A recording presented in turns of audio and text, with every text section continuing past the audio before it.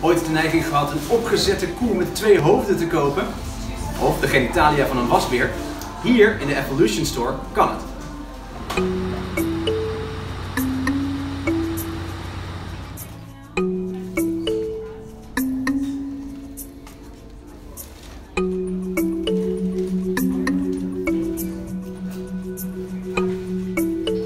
Als New York één groot museum is, dan is dit de cadeauwinkel.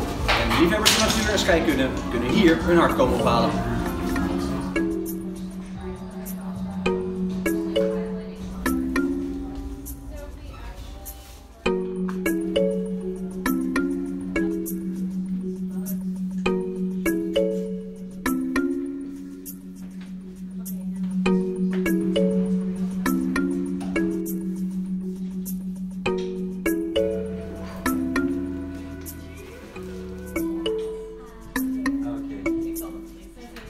So this is a cave bear, and I think the coolest thing in the store.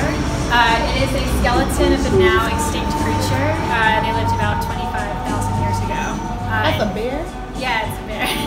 Uh, so not this fair. guy, we Like found the skeleton in Siberia. Uh, and yeah, it's a full, real skeleton.